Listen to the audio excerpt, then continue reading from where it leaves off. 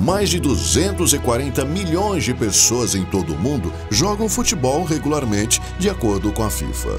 O jogo evoluiu do esporte de chutar uma bola rudimentar de pele de animal para o esporte da Copa do Mundo que é hoje.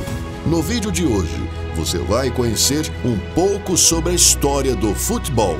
E essa é uma história que possui mais de 3 mil anos. Mas antes, que tal deixar aquele gostei no vídeo e se inscreva? Saiba que isso ajuda com o crescimento do canal. Se já fez isso, vamos lá!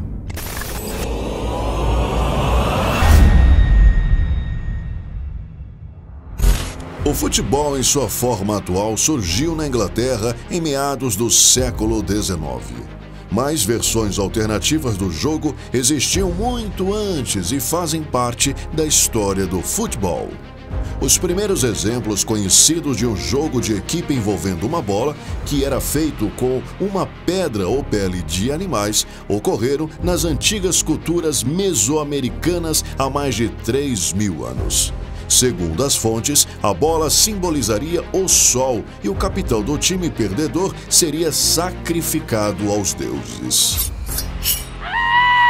O primeiro jogo de bola conhecido que também envolvia chutes ocorreu na China nos séculos 3 e 2 a.C., como o nome de Cujo. O Cujo era jogado com uma bola redonda na área de um quadrado. Posteriormente, ele se espalhou para o Japão e foi praticado sob formas cerimoniais. Outras variedades anteriores de jogos com a bola eram conhecidas na Grécia Antiga. A bola era feita por retalhos de couro com enchimento de cabelo. Os primeiros documentos de bola cheia datam do século VII. Na Roma antiga, os jogos com bolas não faziam parte das diversões nas grandes arenas, mas podiam ocorrer nos exercícios militares. Foi a cultura romana que trouxe o futebol para a ilha britânica. No entanto, é incerto em que grau o povo britânico foi influenciado por essa variedade e em que grau eles desenvolveram suas próprias variantes. A história mais aceita conta que o jogo foi desenvolvido na Inglaterra no século VII.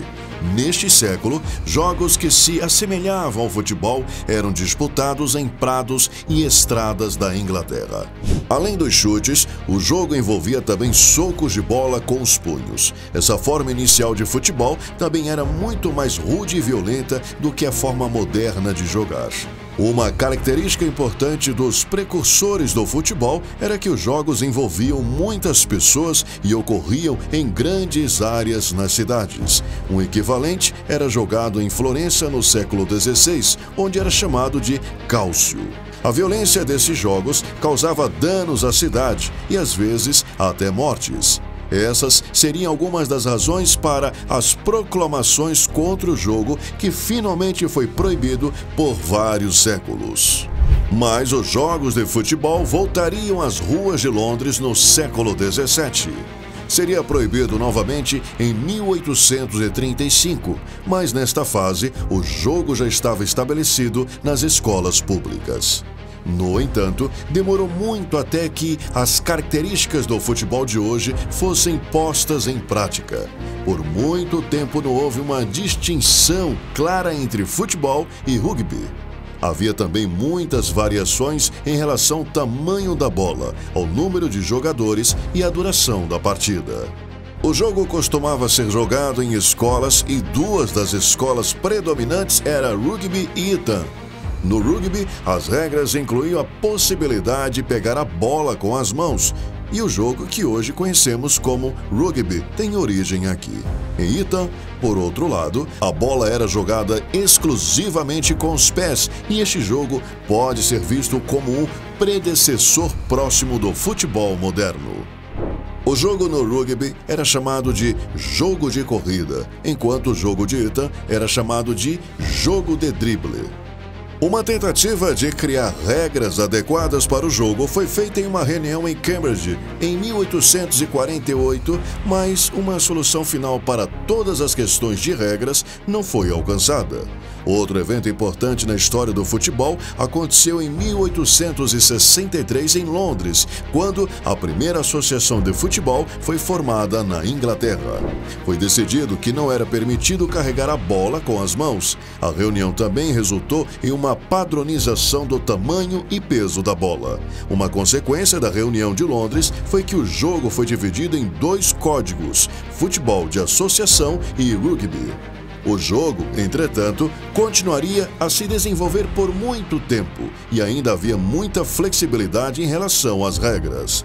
Por um lado, o número de jogadores em campo podia variar e ainda não eram usados uniformes para distinguir a aparência das equipes. Também era comum ver jogadores usando bonés. Outra diferença importante nesta fase pode ser notada entre as equipes inglesas e escocesas. Enquanto as seleções inglesas preferiam correr para frente com a bola mais ao estilo do rugby, os escoceses optaram por passar a bola entre seus jogadores. Seria a abordagem escocesa que logo se tornaria predominante. O esporte foi inicialmente um entretenimento para a classe trabalhadora britânica. Uma quantidade sem precedente de espectadores, até 30 mil, veria os grandes jogos no final do século XIX. O jogo logo se expandiria por povos britânicos que viajaram para outras partes do mundo, especialmente na América do Sul e na Índia. O interesse pelo futebol se tornaria grande. Apesar de os clubes de futebol existirem desde o século XV, eles não eram organizados e nem tinham status oficial. Portanto, é difícil decidir qual foi o primeiro clube de futebol. Alguns historiadores sugerem que foi o Football Club, formado em 1824 em Edimburgo. Os primeiros clubes eram frequentemente formados por ex-alunos de escolas, e o primeiro desse tipo foi formado em Sheffield, em 1855. O mais antigo entre os clubes de futebol profissional é o clube inglês Notts County, formado em 1862 e que ainda existe hoje. Um passo importante para o surgimento das equipes foi a industrialização que levou a grupos maiores de pessoas se reunindo em locais como fábricas, pubs e igrejas. Times de futebol foram estabelecidos nas cidades maiores e as novas ferrovias poderiam levá-los a outras cidades. No começo, o futebol era dominado por times de escolas públicas, mas depois, times formados por trabalhadores seriam a maioria.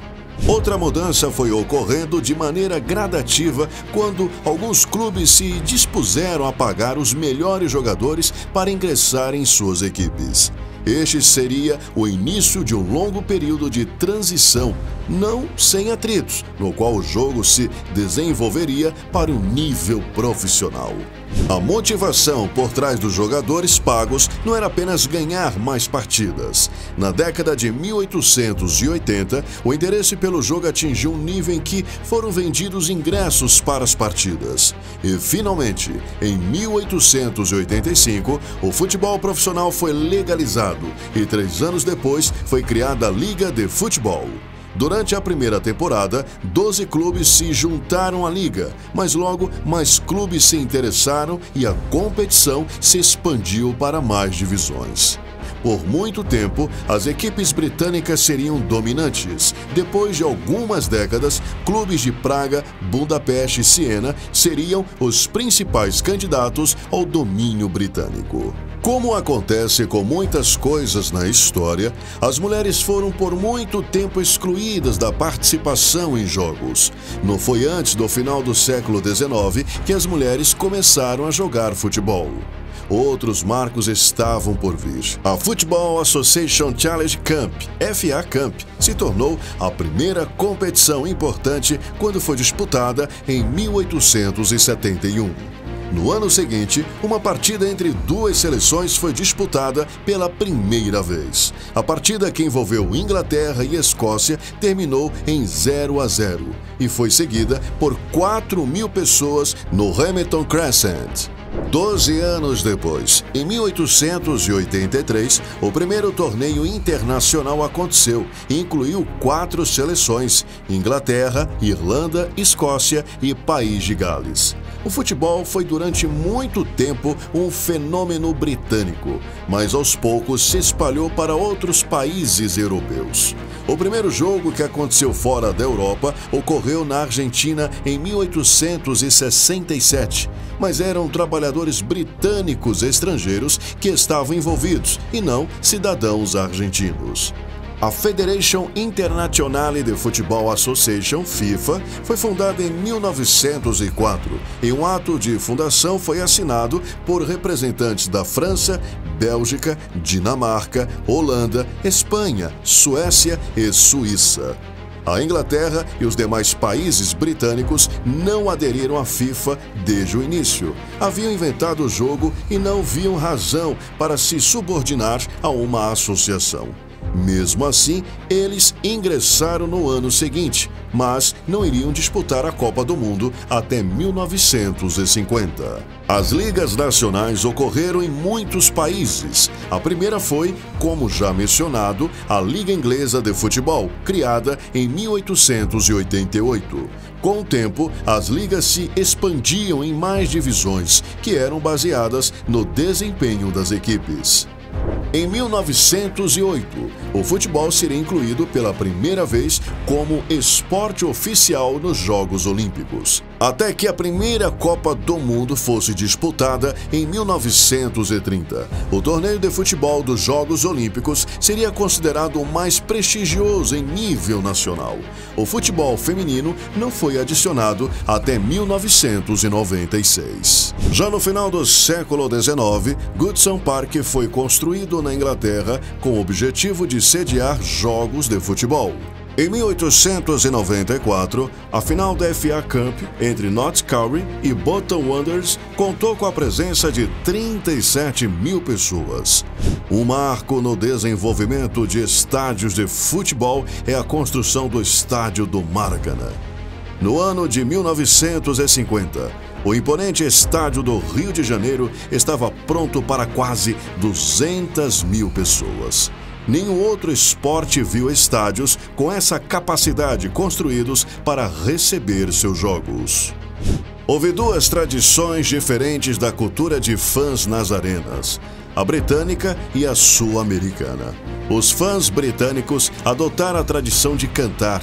O repertório foi inspirado em pubs e canções de trabalho, entre outras áreas. Os sul-americanos, por outro lado, adotariam o estilo carnavalesco, que incluía fogos de artifício e cornetas. Fãs de outros países, mais tarde, adotaram uma mistura dessas tradições. Nenhum outro evento esportivo, além dos Jogos Olímpicos de Verão, pode hoje se comparar com a Copa do Mundo.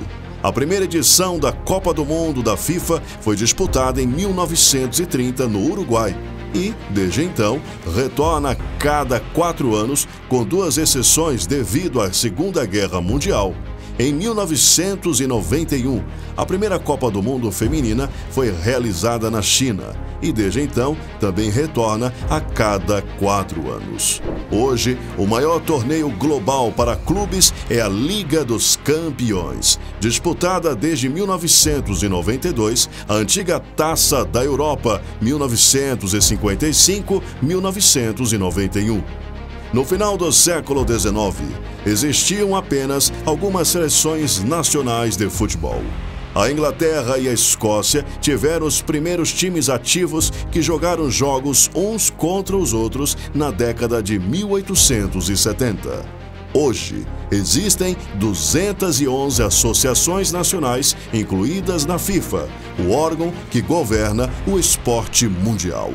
Outra prova da globalização pode ser vista no aumento de nações participantes das eliminatórias da Copa, de 32 em 1934 para mais de 200 em 2014.